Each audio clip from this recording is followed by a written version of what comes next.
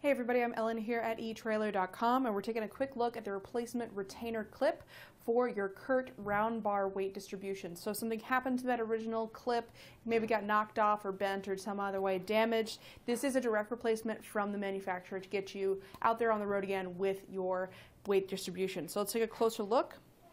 You're going to get the two retaining clips, the set pins, and the screws to get those attached. So basically, this is just going to sit on the front of the head, or the, actually what would be facing towards the rear, towards your spring bars.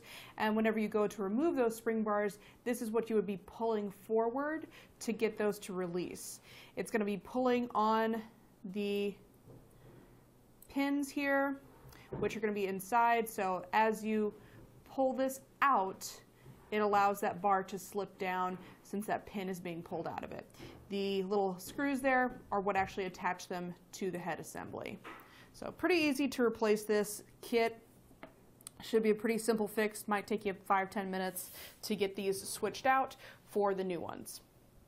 That's pretty much all there is to it for our quick look at the CURT Spring Bar Retainer Package. I hope this has been helpful in deciding if this is the right replacement part for you. We do have a lot of other replacement parts for all kinds of CURT products and all kinds of good stuff for your towing applications and more. So be sure to check those out right here at eTrailer.com and thanks for watching.